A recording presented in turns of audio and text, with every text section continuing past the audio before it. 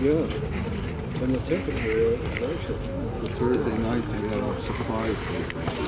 We did uh, governor spots for Everybody come over here. Happy Hanukkah, everyone. Happy Hanukkah. Let's gather around over here. Can make a semicircle. Que stand with me. No, good evening. They haven't got the door of the deal. You got them to sell. Stand with me. Uh, oh, God, at the state capitol. Mental. Mental.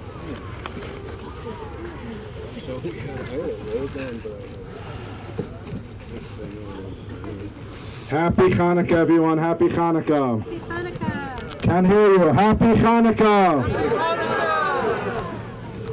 It is wonderful to see all of you gathered here to celebrate Hanukkah at the state capitol. It is an honor to be here with the governor today, with the Chief Justice Reiber and Justice Cohen, and all of you. Our sages encourage us to pray for the peace of the government. Let us begin with gratitude to the Almighty for the blessings bestowed upon the United States. As George Washington wrote to the Jewish community in Newport, May the children of the stock of Abraham who dwell in this land continue to merit and enjoy the goodwill of the other inhabitants, while everyone shall sit in safety under his own vine and fig tree, and there shall be none to make him afraid. Despite the, rise, the alarming rise in anti Semitism, America has remained steadfast in fulfilling its promise. The Jewish people enjoy protection and safety under the law, making the United States an unparalleled haven for Jews. Never before, and I repeat, never before has there been a country as secure for the Jewish community as the United States. For this, we extend our heartfelt thanks to its leaders, especially the governor of this great state.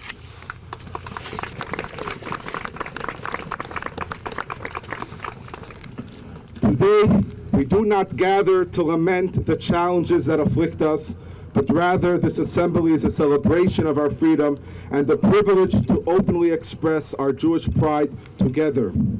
Over 2,000 years ago, the Greeks sought to suppress the freedom of our religion, yet the Jewish people resisted. Despite being outnumbered and weaker, they trampled over an army which was greater and stronger. They rededicated the temple, but a shortage of oil to light the menorah presented a challenge. In a miraculous turn of events, the small jug of oil, intended to last for one day, miraculously illuminated the temple for eight days until a fresh supply could be obtained. To commemorate this miracle, we kindle our own menorahs for these eight days, symbolizing the enduring spirit of perseverance and the miraculous triumph of light over darkness. The widespread Jewish tradition is for every member of each household to kindle their own menorah each night of Hanukkah. This is, an inter- this is interesting because by the strict mandate of Jewish law, one menorah per household is enough to fulfill the mitzvah or requirement. The message here is a powerful one. In this struggle against darkness, there is no standing on the sidelines. Hanukkah reminds us that it takes all of us, each shining our light, to truly make this world a brighter and better place. Even if everyone around you is shining their light, don't for a second think that your light is extra. Don't doubt the power of an individual to make a difference. Sometimes we tend to delegate our voices to others, to celebrities, to elected officials, to political parties. But let us remember that each of us is endowed with a unique and unmatched ability to contribute to the world. And Hanukkah is that call to action. Shine your light. Be that person who sees their lonely neighbor. Be that person who recognizes their neighbor's addiction. Be that person who knows that he or she can change that person's life. That we can imbue that person's life with meaning and light their soul. That small jug of oil, we all have it. We just need to be someone's fire.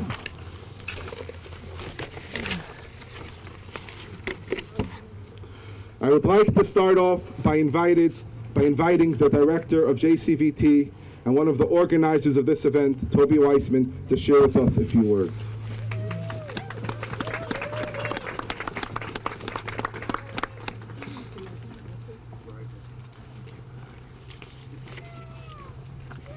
Happy Hanukkah, everybody. It's so wonderful to see everybody here, and it's wonderful that it's not a very, very cold night like usual, or a snowstorm. I would like to sincerely thank Governor Phil Scott, Vermont Supreme Court uh, justices, uh, um, Bill, Bill Cohen, and Chief Justice Reiber the mayor of Montpelier, Jack McCullough, and the entire State House staff for welcoming the Jewish community tonight to the State House on the sixth night of Hanukkah. I would also like to thank Rabbi Yitzchak Raskin and Rabbi Eliyahu Junik and Drazy Junik and Chabad of Vermont for, um, for all that you do for the Jewish community in Vermont every single day, and for all the delicious Hanukkah food we're about to taste. During the darkest days of the year, Hanukkah comes to shine a light in the darkness. Hanukkah means both dedication and education.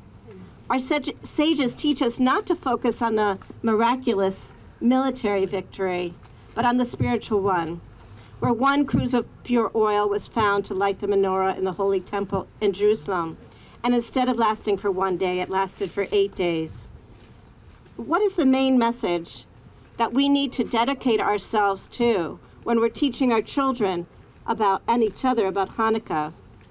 The most important message about Hanukkah is that the hidden oil that was found over 2,000 years ago in the temple in Jerusalem represents our light, our light that's hidden inside of us, the Or HaGanuz. Each one of us has an infinite light that is unique and pure and that never existed before. We all need to be able to find and shine our own unique light into the world. That's the only, we're the only ones that can shine this unique light. And our sages teach us that just like the flame does not diminish when it lights another candle, our light only grows when we help another person's unique light to shine. Rabbi Shlomo Carlebach says, what is utter darkness? What is the utter darkness of the soul?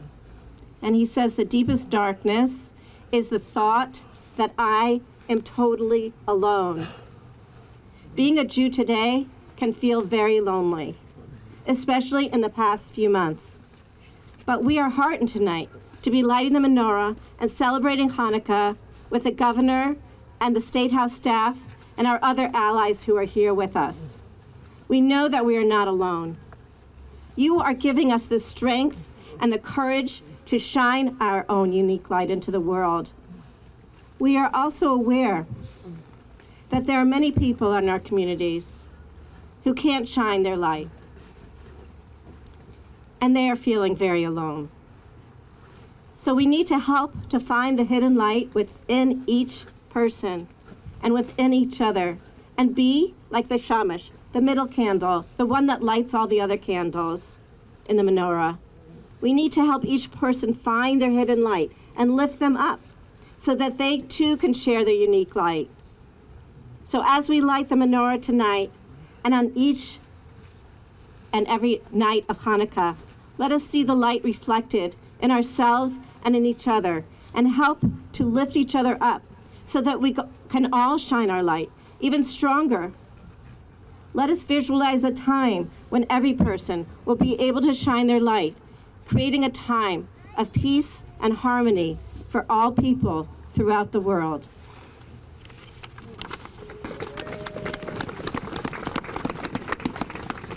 Thank you. We're honored to have here two justices on the Supreme Court of Vermont. We're honored to call up Chief Justice Reiber to share with us a few words. Thank you, Rabbi. Thank you very much, Rabbi, and happy Hanukkah to every one of you.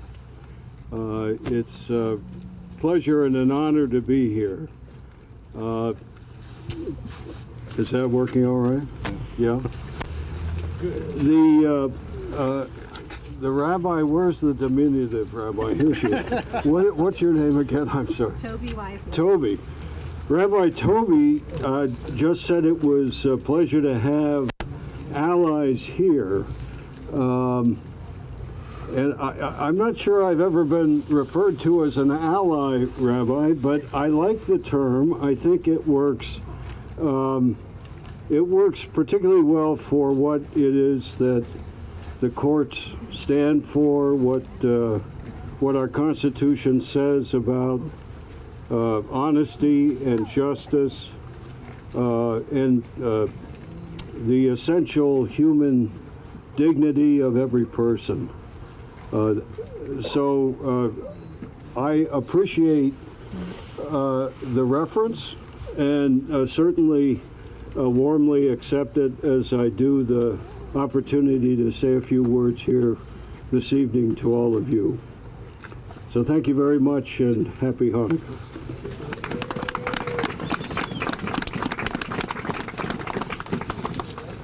Thank you.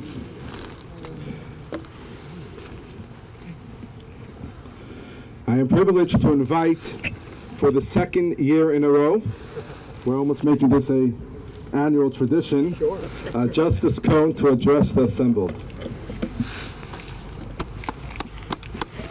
Good evening, Governor, Chief Justice, distinguished guests, rabbis, and the entire Vermont community. I'm greatly honored to be here tonight to witness the public place, the lighting of the menorah.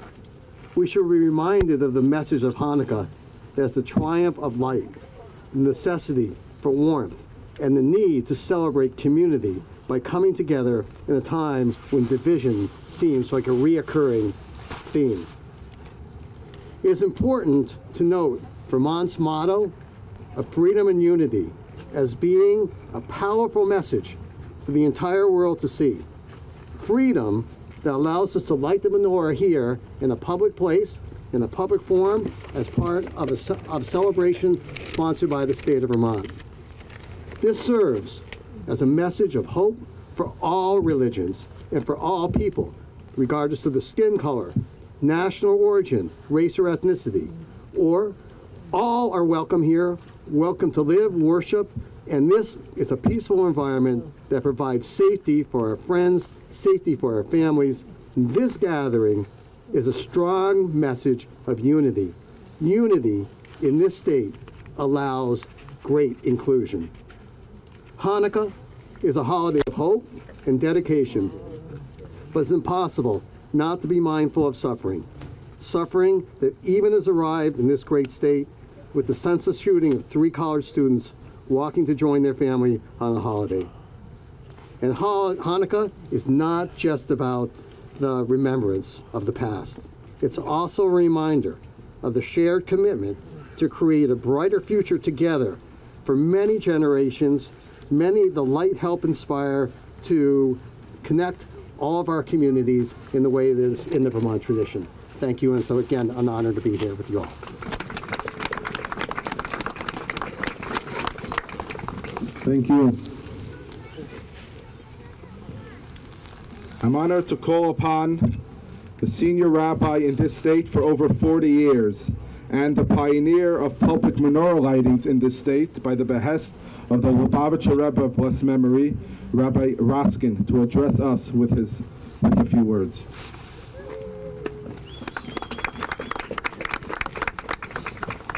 Thank you. And happy Hanukkah, Hanukkah. Governor and Chief Justice, Justice Cohen, and the Mayor, and all the rabbis.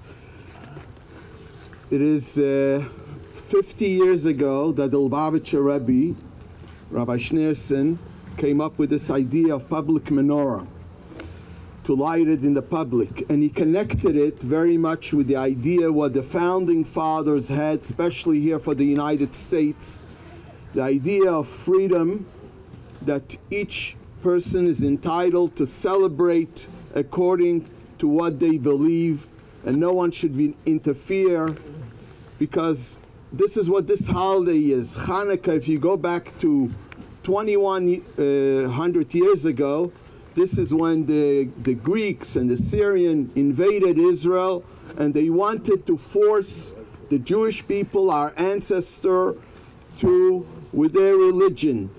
They didn't want them to be observant, to keep their Judaism. They didn't mind.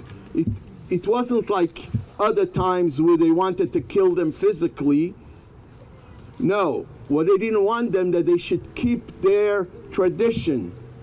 So they instituted many things against what uh, the Torah tells us. Just to give you a simple example, they didn't want that they should circumcise their children. They didn't want them to keep the Sabbath, and also they didn't want them to keep a Jewish calendar. But they fought back until it came to the miracle of the oil. So even though we know there was a big victory, the military victory, but the emphasis of Hanukkah is more on the holiday of the oil, the holiday that they couldn't find the oil and there was not, not enough even for, for one day and expanded to eight days. So here's something very interesting. A few quick lessons. Number one, we light it at night. In the temple, which was originally, it was during the day. Here, the mitzvah is is to light it when after dark. This is to teach us that this is the message of Hanukkah. The message of Hanukkah is to light the darkness, to light the darkness. And the Rebbe, the Lubavitcher Rebbe once said, darkness, you, you don't get rid of darkness with a broom. How do you get rid of darkness? By bringing in more light. And that is the positive that this is a universal message for everyone that we all increase more light. And here's something very interesting. Tonight is the sixth night of Hanukkah. So we began the first night, the second night was two, then the third night three, and, and tonight we're going to light six. What is the idea? Every day we add on more. We don't get stuck in one place. We keep on moving, adding on, adding on, and doing more things. And by everyone, all of us together, we do the right thing. We light the darkness, and we are nice to each other. That will bring more peace into this world, and very soon we'll see the ultimate, the ultimate goodness in this world in front of our eyes. Happy Hanukkah to everyone.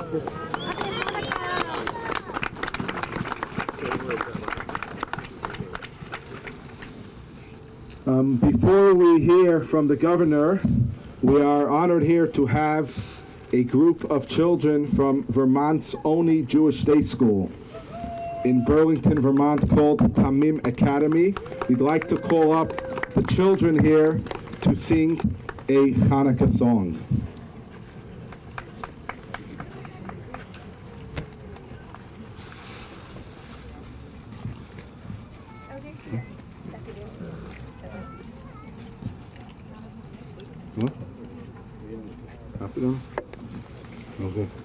Okay, we were asked to postpone it for just a few minutes. Um,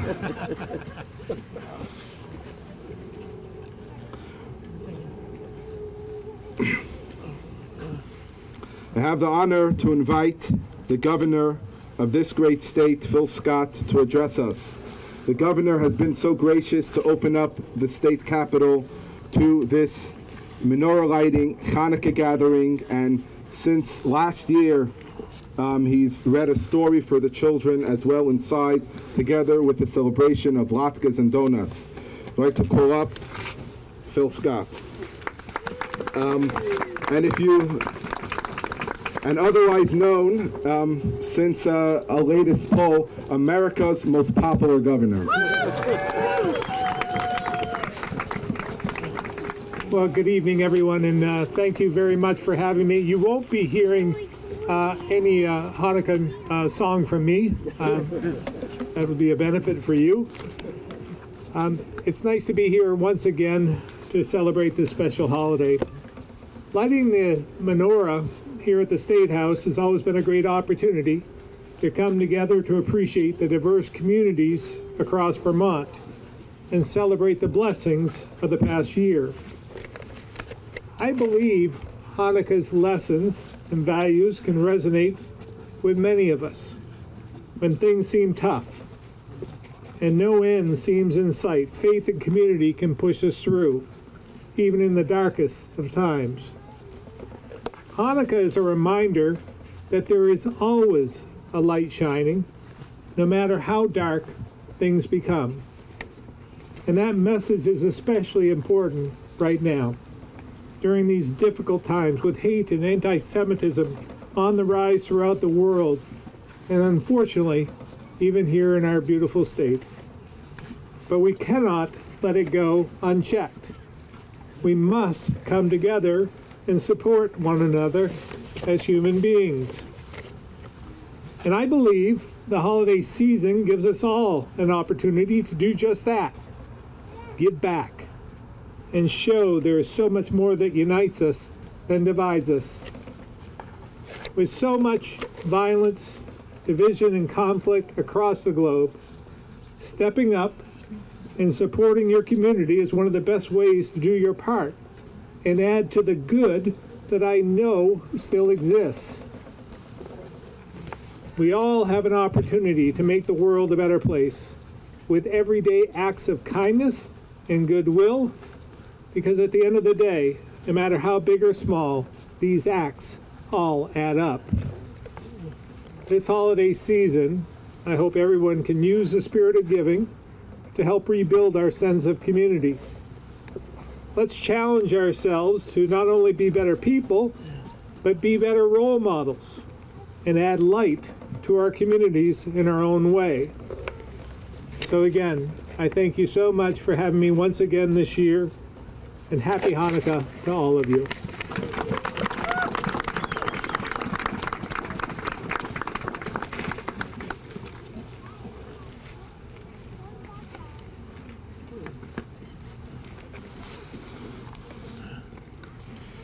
Like to take this opportunity to thank the governor for his excellent leadership, especially during these challenging times. His presence and support for the Jewish community in these difficult moments are truly appreciated. Let's give it to the governor.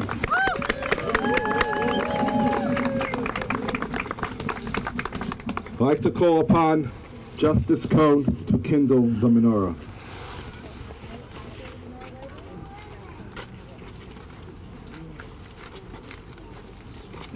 If you have a song sheet, the blessings are on your song sheet. So if you see somebody with a song sheet, you can gather around them.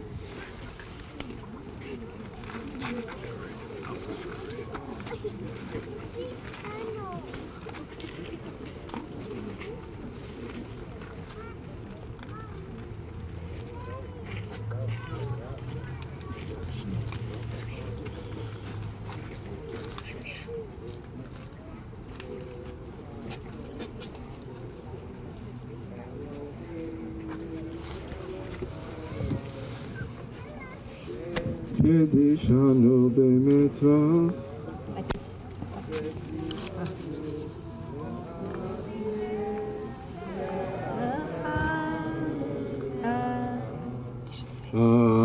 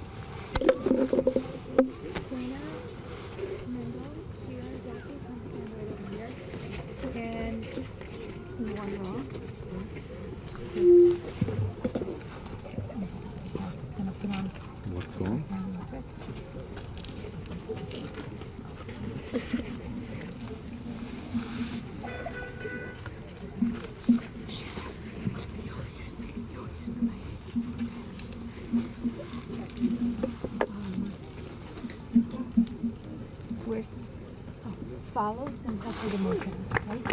Thank you.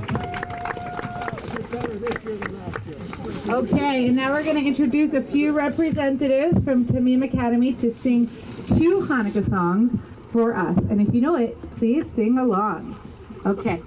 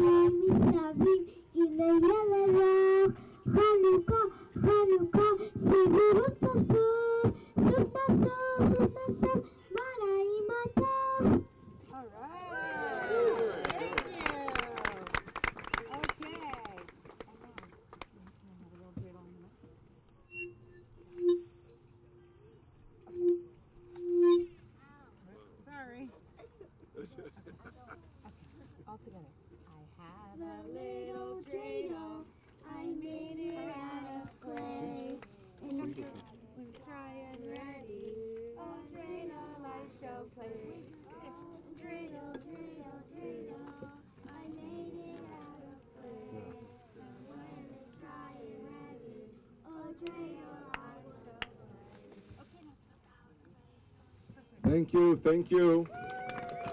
Before we go to the song Ma'os Tzur, we'd like to thank the organizers of this event, David Schitz and Kate Eberly. Thank you very much for all the help and all the meetings to make this event a great event. Uh, We'd ask everyone to sing together the traditional Hanukkah song, Ma'os Tzur. Asi חנה לשבח תיכון. בתפילתי ושם תודה נזבח.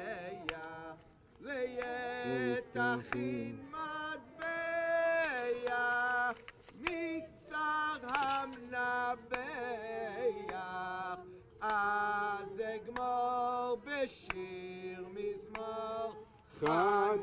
Chanukah Samizbeach אז אגמור בשיר מזמור Chanukah Samizbeach Thank you everyone for joining us. We're all, everyone's invited to go, I think, around the building to the side. No, the, si- the front door. The front door is open to go to the We're going um, to the governor's office to hear the stories, and the cafeteria floor? for the second floor. to go to the second floor. The governor will be reading a story for the children and the adults, and there'll be latkes, donuts In the cafeteria. in the cafeteria. Thank you all for coming. In the cafeteria, there are free PJ Library books for children. Take a book or two, and um, and if you don't know about the program PJ Library, you can talk to me. It's a gift of books for children each month.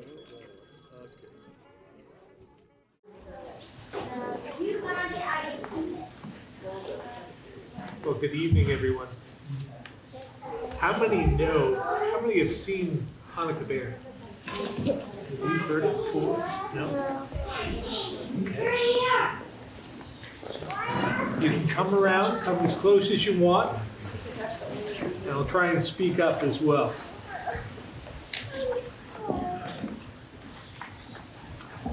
Old Bear awoke from his winter sleep.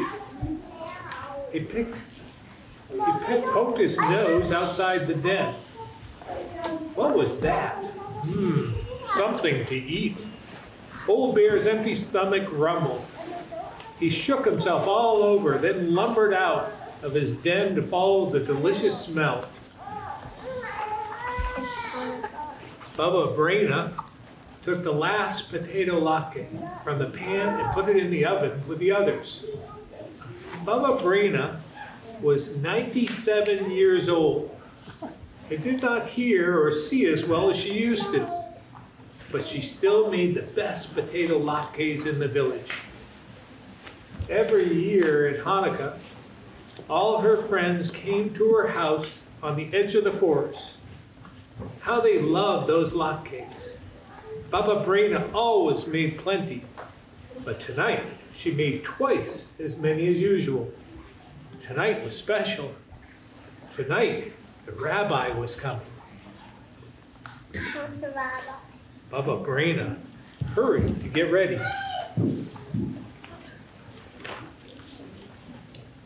Just then, she heard a thump on the door. She opened it. Rabbi, you're here early. How nice to see you. Grrr, growled the old bear. Happy Hanukkah to you too. Please come in. Old Bear walked into the house. I'll take your coat, Rabbi. My, how thick it is. Bubba Brayna tugged at Old Bear's fur. Old Bear roared, Roar! Oh, you want to keep your coat on? Well, that's all right. It is chilly in here. Old Bear's nose twitched. Ugh. Thank you, Rabbi. How kind of you to say that. The latkes will taste even better than they smell. Old Bear followed his nose to the oven. Rabbi, I'm surprised at you. You know we don't eat until we light the menorah. Well, that's all right. I know you were teasing. I'll light the candles. Will you say the blessings? Bubba Brayna struck a match and lit the sh candle. Then she lit the one for the first night. Old Bear muttered and growled. "Rrr, rrr, rrr." Who has kept us alive, sustained us, and enabled us to reach this season? Oh, Rabbi, you say the blessing so beautifully. Bubba Brayna sat down at the table. Old Bear sat beside her. Let's play dreidel. We'll use these nuts. Old Bear cracked one with his teeth. Rabbi, you won't have any nuts for the game if you eat them. Urgh, growled Old Bear. Don't worry. I have plenty of nuts if you need more. Bubba Brayna spun the dreidel. It stopped on the letter Gimel. I win. Bubba Brayna swept the nuts into her apron. Roar, old bear roared. Don't be angry, Rabbi. It's only a game. She tossed him a nut. Old bear begged for more. No, Rabbi, no more nuts. It's time for dinner.